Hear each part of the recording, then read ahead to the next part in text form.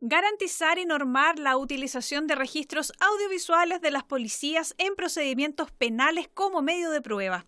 Ese es el objetivo del proyecto aprobado por unanimidad y despachado a ley por la sala de la Cámara. En su articulado, la norma define que, en el procedimiento penal, las policías podrán utilizar esta tecnología ya sea en lugares públicos de libre acceso u otros que permita la ley. En su paso por el Senado se estableció que mediante decreto supremo se definirán las unidades que utilizarán estos sistemas, las que podrán ser modificadas cada tres años a solicitud de las instituciones beneficiadas siempre con la aprobación de los Ministerios del Interior y Seguridad Pública y Hacienda.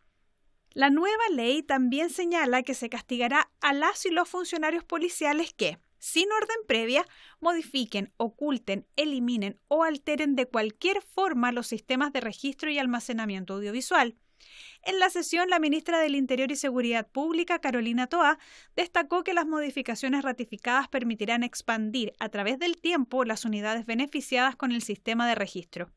En una primera instancia contarían con este tipo de equipo las unidades de drogas, de investigación criminal, de robos y delitos violentos, igualmente las de control de orden público respecto al derecho a reunión.